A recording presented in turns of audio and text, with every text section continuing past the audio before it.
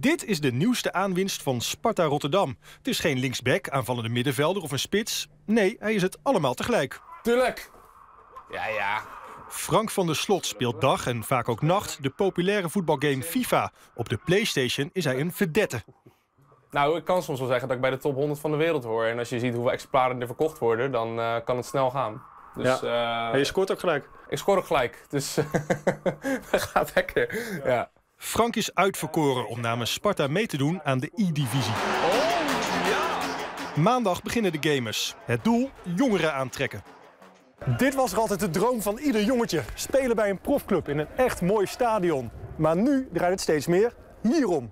Jongeren kijken liever naar games dan naar echt voetbal. En daardoor ligt de gemiddelde leeftijd in stadions inmiddels op 45 jaar. Maar juist de E-divisie kan daar verandering in brengen. Het zou zomaar kunnen dat uiteindelijk de E-divisie ook in de Eredivisie stadions wordt gespeeld.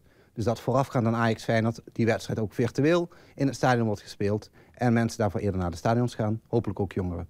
Dus eerst kijken naar een potje gamen en daarna naar een potje echt voetbal. Exact.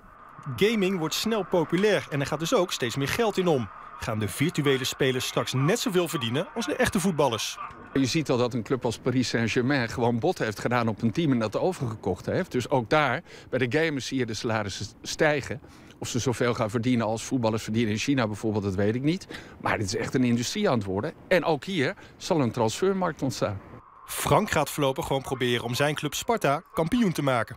Dat is het leuke met FIFA. Met een voetbalwedstrijd kan je zeggen, nou Barcelona-Sparta, dat wint Barcelona sowieso.